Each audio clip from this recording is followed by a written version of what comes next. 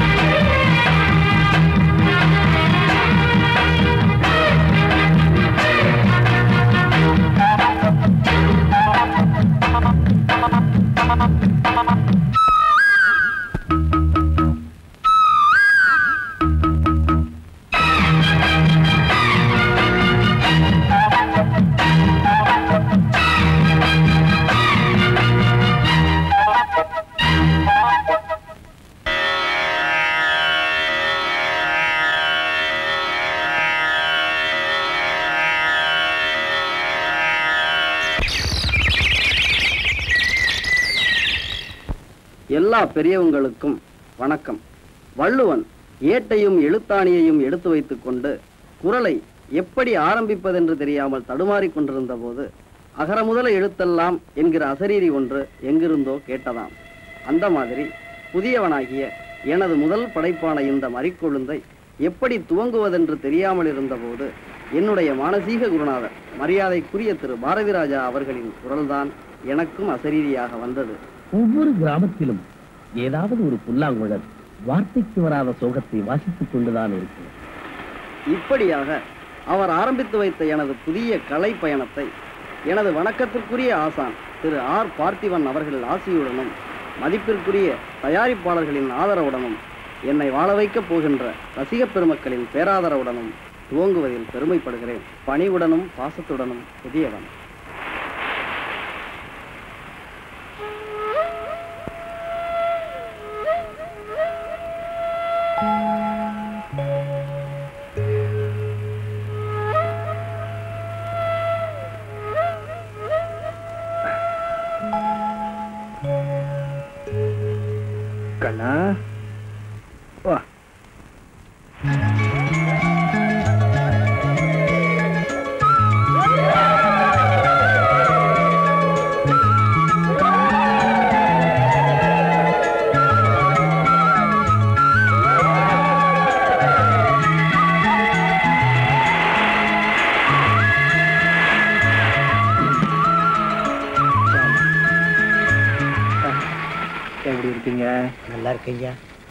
யார் தெரியுதா? இவர் ஒரு வகையில உன் மாமா. Daddy daddy. இந்த ஊர் ஜனங்களா எனக்கு ஏன் இவ்வளவு மரியாதை கொடுக்குறாங்க? என்ன பார்த்து கையெடுத்து கும்பிடுறாங்க. எனக்கு ஒண்ணுமே புரியல. அங்க பாருங்க. அந்த பாட்டிமா அந்த குழந்தையோட கையெடுத்து என்ன கும்பிட சொல்றாங்க. எனக்கு எதுவுமே புரிய மாட்டேங்குது டாடி. திருவிழா முடிஞ்சதுக்கு அப்புறம் எல்லாம் விவரமா சொல்றேன்? வா. நல்லா இருக்குங்களா? Daddy daddy. இந்த ஊரோட பேர் கொட்டாம்பட்டின்னு தானே சொன்னீங்க. அங்க பாருங்க மறிக்கொழுந்து பட்டின்னு எழுதிருக்கு அம்மாவோட பேர் தானே மறிக்கொழுந்து? இந்த ஊருக்கு எப்படி அம்மாவோட பேர் வந்துச்சு? சொல்றேன். வா. அங்கிளோட பேசிட்டு வாமா ம். ஏம்மா உன் பேர் என்னம்மா? சித்ரா. அங்கிள் எனக்கு ஒரு சின்ன சந்தேகம். கொட்டாம்பட்டிங்கிற இவ்வளவு சின்ன கிராமத்துல பிறந்த எங்க அம்மாவால இந்த ஜனங்களெல்லாம் அட்ராக்ட் பண்ற அளவுக்கு ஒரு சாதனை புரியுற அளவுக்கு எப்படி இவ்வளவு மெச்சூரிட்டி வந்துச்சு? அம்மா சாதனை பண்ணுறதுக்கும் தியாகம் பண்ணுறதுக்கும் திருச்சியிலிருந்து தான் வரணும். திருநெல்வேலியிலிருந்து தான் வரணுங்கிற வரமுறையெல்லாம் இல்லைம்மா. யார் எங்கிருந்து வேணாலும் சாதனை பண்ணலாம். அதுக்கு முயற்சியும் மூளையும் தான் முக்கியம். நாம் திருவிழாவுக்கு போகலாமா கண்ணா? வாமா பட்டத்து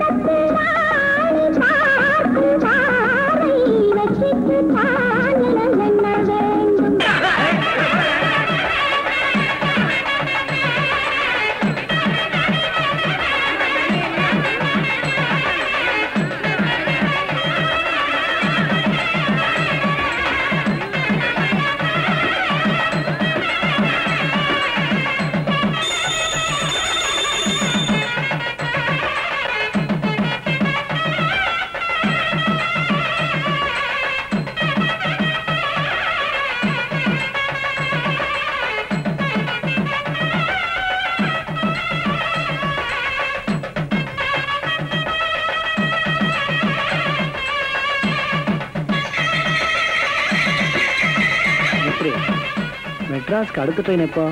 ஏங்க ரெண்டு நாள் தங்கிட்டு போலாமே. போகலாம் ஆனா கொஞ்சம் அவசரமான வேலை இருக்கு. குழந்தைக்கு எக்ஸாம் வேற. இன்னும் ரெண்டு மணி நேரம் கழிச்சு அந்த ரயில் வருது. அதுல டிக்கெட் சொல்லிடுங்க. ஆ.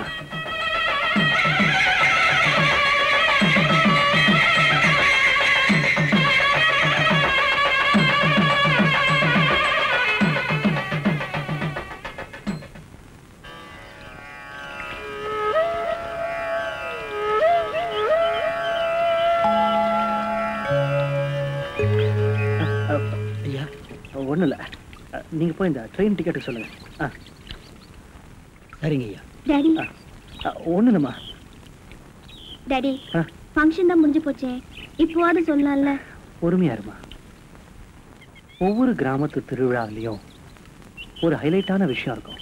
அந்த மாதிரி இந்த திருவிழாவிலையும் இருக்கு. அதை நீ பண்ணிட்டு வா. அப்புறம் சொல்றேன். என்ன டாடி அது? அங்க பாத்தியா? தட்ஸ் மாதிரி குழந்தை. ரெண்டு கட்டு வாங்கிட்டு வந்து அவங்கள மாதிரி ஆத்துல கரைச்சிட்டு வா. அப்புறம் சொல்றேன்.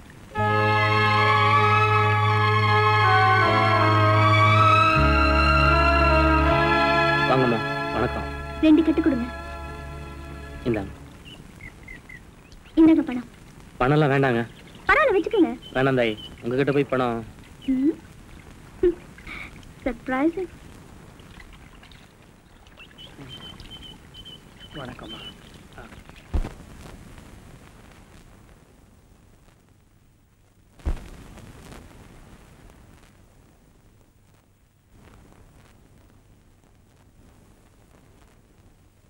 சித்ரா. போலாமா.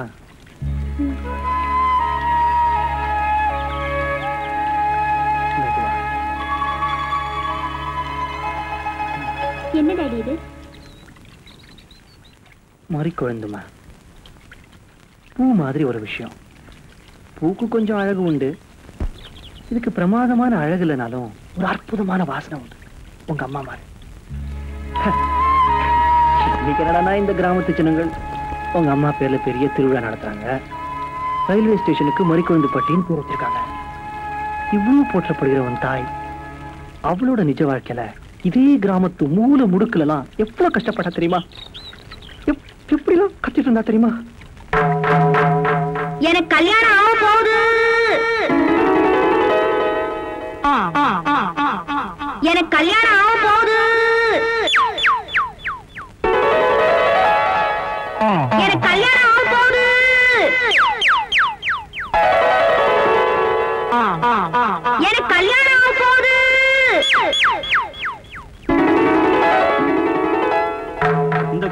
எப்ப பார்த்தாலும் இதே பொழப்பா போச்சுடா. வீட்டு வாசல்ல எவனாவது வந்து நின்னா போதும். எனக்கு கல்யாணம் ஆக போகுது கல்யாணம் ஆக போகுதுன்னு கத்துறாளே தவிர ஒரு நாளும் திருநாளுமா இவளுக்கு கல்யாணம் ஆன பாடும் இல்ல எவனும் கச்சேரி வாய்ச்ச பாடும் இல்ல.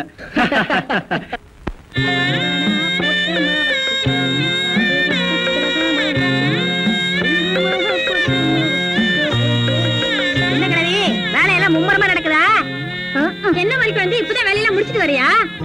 ஆமா. மறி கொழுந்து வேலைய முடிச்சிட்டு மறி நிறைய கட்டிட்டு வந்திருக்கா. அதுல நீ கொஞ்சம் அவுத்து வாங்கிக்க. ஏன் கழுவி? உனக்கு என்ன வேற வேலையே கிடையாதா? எப்ப பார்த்தாலும் அவளையும் திட்டிக்கிட்டே இருக்க. பின்ன என்னடி? பொம்பளையா லட்சணமா நடந்து வாராளா பாரு. என் சக்திக்கு இது வரைக்கும் பத்து மாப்பிளைய பார்த்துட்டேன். ஆம்பளை மாதிரி இருக்கான்னு அத்தனை வயல்களும் ஓடி போயிட்டாங்க. அதுக்கு தகுந்த மாதிரி கொஞ்சமாவது அடக்கமா ஒடுக்கமா நடந்து வாராளா பாரு. இவன் இல்லாட்டி இன்னொருத்தன் வராமல போயிருவான். விடுவியா? அதானே கிழவிக்கு நல்லா எடுத்து சொல்லுக்கா. டேய் பழனி. என்னங்கய்யா இங்க வா. இதோ வந்தானுங்க. அடச்சி என்னப்பா வேற நீ நேரா போய். நான் கூப்பிட்டு அனுப்பிச்சேன். மறிக்குழுந்த கூப்பிட்டு வா. யாரு? மறி குழந்தையா? ஆமாண்டா. நான் கூப்பிட்டு அனுப்பிச்சேன் போய் கூப்பிட்டு வா. சரிங்க. கேள்வி கேக்குறான்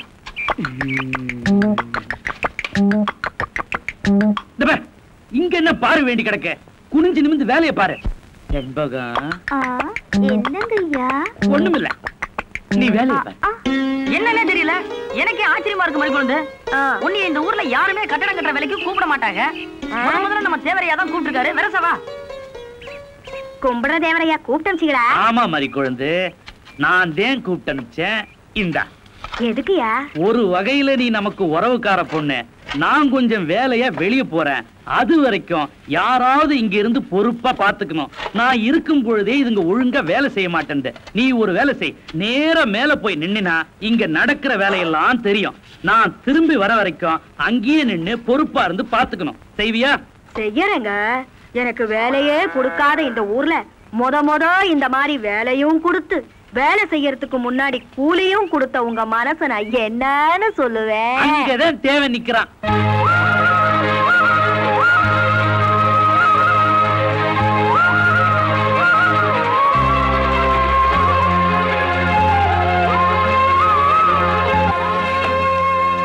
அடியே செம்பகம் செங்கல்ல உடைச்சு உடைச்சு என்னத்துக்கிட்டு எடுத்துக்கிட்டு இருக்கிற?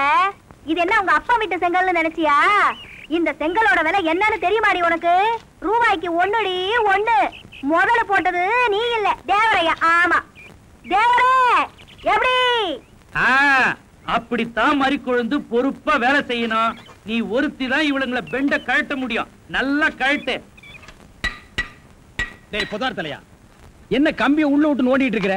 இந்த பத்து மைல் சுத்தளவுக்கு சுத்தமா கட்டட வேலையை சொல்லி தர்ற ஒரிஜினல் மேஸ்திரி நான் தான். என்கிட்டயே நீ ஏமாத்துறியா? இது என்ன பென்சில் நீ என்ன பெரிய இன்ஜினியரா? அப்பப்ப மார்க் பண்ணிட்டு தான் வேலை வேலை பார் வேலை பார். என்னங்கடி இது? என்னமோ திருவாரூர் தேர் வந்த மாதிரி ஆடி அசைஞ்சு வந்துட்டு இருக்கிறீங்க. இன்னொரு தடவை கிண்டல் பண்ணா மரியாதை கெட்டுரும். ஏய், நான் கிண்டல் பண்ணாம வேற உங்களை எவன்டி கிண்டல் பண்றது? சித்தாளுங்கனால மேஸ்திரிங்க கிண்டல் பண்றதுக்காகவே படைக்கப்பட்ட ஒரு ஜென்மங்கள்டி. என்ன மாதிரி மேஸ்திரிகளை நீங்க எல்லாம் கைக்குள்ள போட்டு வச்சுக்கிட்டா தான் ஒரு பத்து கட்டடத்துல வேலை கொடுப்பேன். பணம் காசை கை நிறைய பார்க்க முடிய. முடியும் இப்ப நீ ஒண்ணும் மேஸ்திரி இல்ல. பின்ன விளக்கு வச்சதுக்கு அப்புறம் தான் நான் மேஸ்திரியாடி? ஆமா வெளியே போய் பாரு. மேல ஒரு சிரிக்கி நின்னுட்டு அதிகாரம் பண்ணிட்டு இருக்கா. நீ மேஸ்திரியா அவ மேஸ்திரியான்னு அந்த தேவர்கிட்ட கேட்டு பாரு. நீ தான் மேஸ்திரின்னு சொன்னா என்ன கிண்டல் பண்ணு நான் ஒத்துக்கிறேன்? தேவர! இந்த பில்டிங்க்கு நான் மேஸ்திரியா இல்ல மறிக்கொழுந்து மேஸ்திரியான்னு தெளிவா சொல்லிட்டு போங்க. சத்தியமா நீதாயா மேஸ்திரி? இந்த மனசாஸ்திரம் பார்த்து சொல்றாரே மணி ஐயரு அவர் நேத்து இங்க வந்து வீட்டை பார்த்தாரு. வீடு அம்சமா இருக்கு ரொம்ப நல்லாவே கட்டி இருக்கிற ஒரே ஒரு குறை. நாளைக்கு எட்டுல இருந்து ஒன்பது நல்ல நேரம். அந்த நல்ல நேரத்துல ஒரு திருஷ்டி பொம்மையை வாங்கி நிறுத்துறேன்னு சொன்னாரு. திருஷ்டி பொம்மைய நம்ம ஆளுங்கிட்ட வாங்கிட்டு வர சொன்ன. இந்த பாவிங்க வாங்கிட்டு வரல. திருஷ்டி பொம்மை நிக்க வேண்டிய இடத்துல மறுக்குழுந்த கூட்டியாந்து நிக்க வச்சிருக்கிறேன்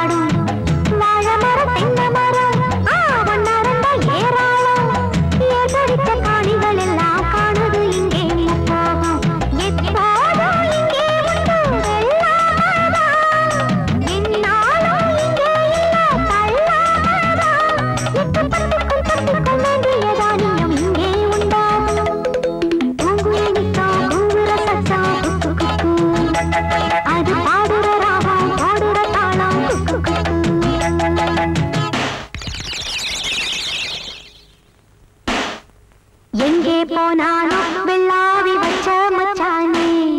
ரெண்டு கண்ணால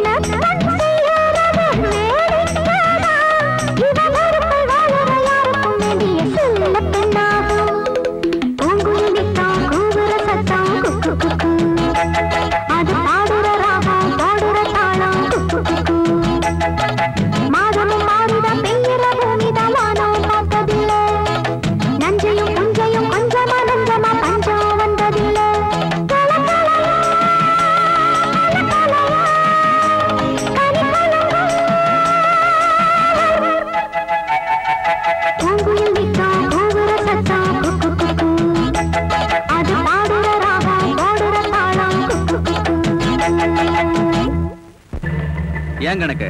லாரி வந்துச்சா லோடு எடுத்துனீங்களா? ஒண்ணுமே சொல்ல மாட்டேங்கிறீங்களே. அந்த டென்ஷன்லாம் உங்களுக்கு எதுக்கு தம்பி? இத பாருங்க நான் எதுக்கு இருக்கிறேன்? எல்லாத்தையும் நான் பாத்துக்கிறேன். உங்க அப்பா காலத்திலேயே இந்த மாதிரி விஷயங்கள்லாம் அவர் மண்டையில ஏத்துக்கவே மாட்டாரு. பாவம். அக்கடான்னு பட்டணத்துல படிச்சுக்கிட்டு இருந்த புள்ள நீங்க. மாசம் பிறந்துச்சா மணியாடர் வந்துச்சான்னு காலத்தை கடத்திக்கிட்டு இருந்தீங்க. உங்களை தந்தி கொடுத்து வர சொல்லி தலைமாட்டுல உட்கார வச்சு 50 லட்சம் ரூபாய் ஃபேக்டரிய உங்ககிட்ட ஒப்படைச்சிட்டு போயிட்டாரு பெரியவர். போகும்போது உங்க அப்பா சொல்லிட்டு போன மாதிரி இந்த சொத்தோட மதிப்பை அதிகமாக்க முடியாட்டியும் அழிக்காம இருக்கணுமேங்கிறதுக்காக அரும்பாடுபட்டுக்கிட்டு இருக்கேன் தம்பினா. தம்பி நீங்க அப்பப்ப வாங்க. ஆயிரம் ரெண்டாயிரத்தை வாங்கிக்கிங்க. மத்தத நான் பாத்துக்கிறேன். வேண்டாமா வாங்க முனுசாமி. வேண்டாமா நீயே காத்துக்கு திண்டாடுற. இதுல எனக்கு கொடுக்குறியா? ஆட எனக்கு என்ன திண்டாட்டம்? எப்படி ரெண்டு வீட்ல எனக்கு வேலை கிடைச்சிரும்? ரேஷன் கடையில எப்ப அரிசி போடுறது? நீ எப்ப ரோட்ல தப்படிச்சு பொழைக்கிறது? அட பரவாயில்ல முனுசாமி வாங்கிக்க. நீ பட்னி கிடக்குறத பார்த்தா எனக்கு பாவமா இருக்கு. யார பார்த்தாலும் இறக்கப்படுற நீயே. நல்லா இருக்கணும் தாயி. ஆனா உனக்கு தான் தெரியுமே நான் வேலை செய்யாம யார்கிட்டயும் சும்மா காசு வாங்க மாட்டேன்னு. தண்ணி அடிச்சா கூட தரமா சம்பாத்தி அடிப்பேன். அப்படி வாங்குறதா இருந்தாதே நேரம் ஊர் பூரா அஞ்சு பத்துன்னு வாங்கி வச்சிருக்க மாட்டான்? எனக்கு தெரியும் முனுசாமி ஆனா என்னால இறக்கப்படத்தே முடியுமே தவிர உனக்கு எப்படி வேலை கொடுக்க முடியும்? ஏதாவது ஊர் விஷயத்த சொன்னீங்கன்னா நான் தண்டா போட்டுறேன். நான் என்ன நாட்டாமையா? ஊர் விஷயம் சொல்ல. இந்த கிண்டல் தான் வேணாங்கிறது. நாட்டாம எல்லாம் இந்த ஊரை பொட்ட மட்டும் உனக்கு அப்புறம் தான் மாதிரி கொழுந்து. நான் உனக்கு கிண்டல் பண்றேன்னு நினைக்காத. நெசமா தான் சொல்றேன். ஒண்ணு செய் முனுசாமி. நம்ம ஊருக்கு பாவக்கூத்து வந்து ரொம்ப நாள் ஆகுது. இன்னைக்கு ராத்திரி கோயில் மண்டபத்துல பாவக்கூத்து வருதுன்னு நீ தண்டோரா போட்டுரு. அதுக்கு அப்புறமாவது பாவக்கூத்து காட்டணுங்கிற ஆசை நம்ம நாட்டாம கரையாவுக்கு வந்துரும். நம்மளும் பார்த்த மாதிரி இருக்கும்ல. எப்படி நம்ம யோசனை? யோசனை என்னமோ நல்லா தான் இருக்கு ஆனா அந்த மாதிரி போய் சொல்லி பொழப்பு நடத்துறேன் நான் இல்ல ஆமா. ஆடைய அரிச்சந்திரமா வாராசா எத்தனை நாளைக்கு அரிசி போடுறாங்கன்னு நீ தப்படிச்சு நாங்க ரேஷன் கடைக்கு போனா இன்னைக்கு அரிசி லாரி வரல நாளைக்கு வாங்கன்னு திருப்பி அனுப்புறாங்க அதுக்கு மட்டும் என்ன அர்த்தமா அது வந்து என்ன வந்து போய்? பவரு காஞ்சா வாங்கிக்க. இல்ல ஆளை விடு நான் போறேன். இல்ல இல்ல மாதிரி கொண்டு கொண்டு ரூபாய. நான் தண்டா போட்டுறேன். இந்த குடி. நான் சொன்னதை மட்டும் மறந்துடாதே. நான் வாரேன். சாப்பிடுறனோ இல்லையோ இன்னைக்கு சாராயம் கண்டிப்பா கொடுத்தே ஆகணும்.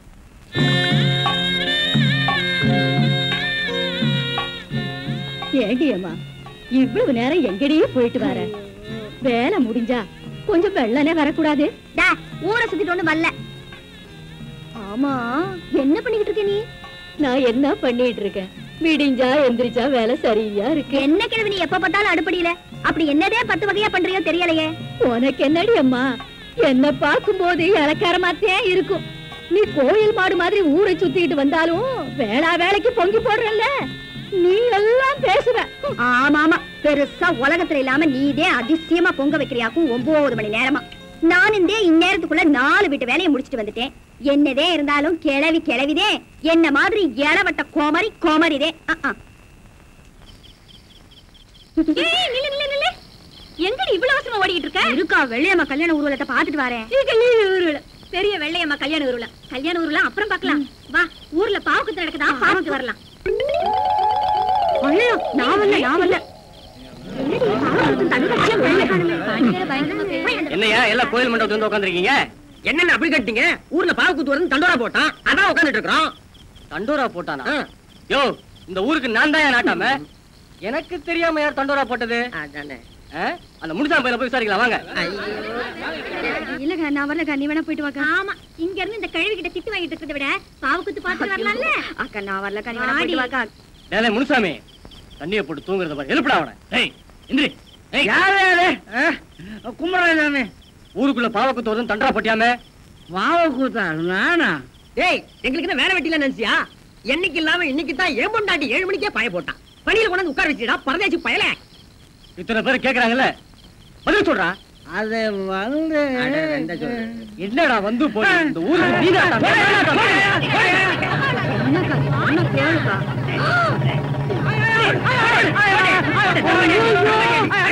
மாட்டிக்கிட்டானே.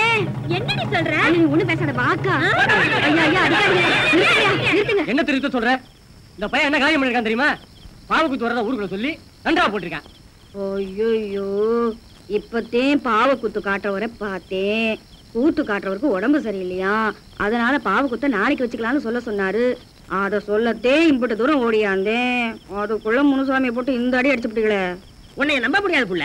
ஏன்னா நீயே அவங்க கையில காசை கொடுத்து பாவக்கூத்து வருதுன்னு ஊர்ல தண்டரா போட்டு ஊர்ல இருக்கிறவங்க எல்லாம் மண்டை காயட்டும் நினைச்சு செஞ்சாலும் செஞ்சிருப்ப ஏன்னா பொய் சொல்றதா உன்னோட பொழப்பா போச்சே. டெய்லர் அண்ணே அது எப்படி அவளை சரியா கண்டுபிடிச்சீங்க?